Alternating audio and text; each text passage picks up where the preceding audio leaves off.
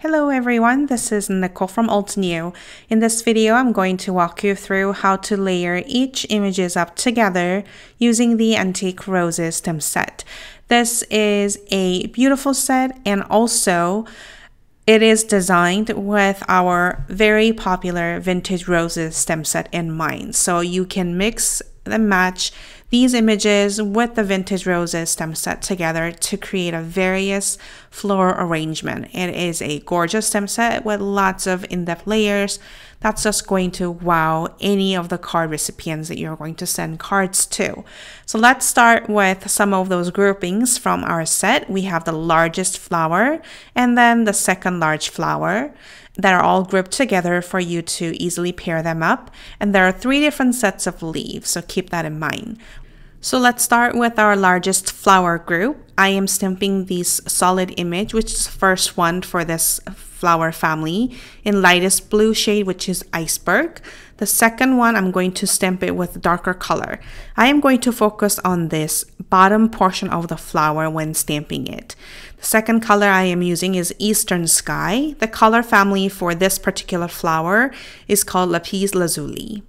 And after the second one is stamped, we're going to more focus on this groove. If you actually look at on this right here where I'm pointing, there is a little distinctive groove on that between two bottom petals and also refer to the top portion of the flower when stamping the third image. The third layer is stamped with ultramarine, which is a third color of the Lapis Lazuli color family. The last one, we're going to focus on this outer edge of the third image and looking inwards of the center portion of the flower and stamp the last one with azurite ink pad and this is the darkest color of the family.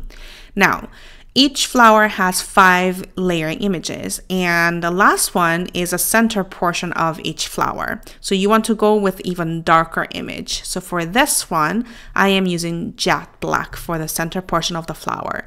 You can mix and match with different colors from various color families to give a various look. You could go with darker purple for the center of the blue flower if you wanted to. I'm just giving you an example, so don't feel limited that you need to only work with four different layers and shades from the same color family. Now, for the second color, uh, sorry, second flower, I am using Rouge for both first and second layer. I wanted to give a softer look. So you can stamp the same color twice to give a softer and subtle shading effect. For the third one, I am using Crimson and we're going to focus on this bottom portion and the center portion of the flower. The last one is velvet and we're going to go right on the center portion of the flower and stamp those.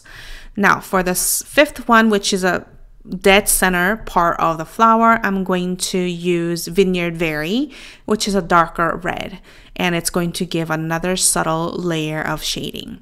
So feel free to play around with different shades of ink pads to see what color combinations you might like. Let's move on with the leaves. Leaves are very straightforward. I'm going to use Greenfields ink colors for these three step leaves. First one is stamped with a frayed leaf. Second one is forest glades. And then third one, which is the darkest color for the green family on this one, is um, evergreen. And we're going to do the same color combinations for the other two sets of leaves. Now, jet black is a part of this green field family as well. So if you wanted to even go darker, you could go with forest glades, evergreen, and also jet black for the dark and the last image.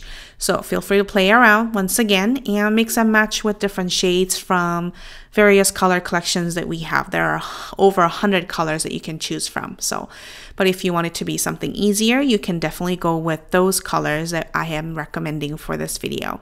I hope you enjoyed and this was helpful. If you have any questions, let us know by emailing us at support at. Thank you so much for watching.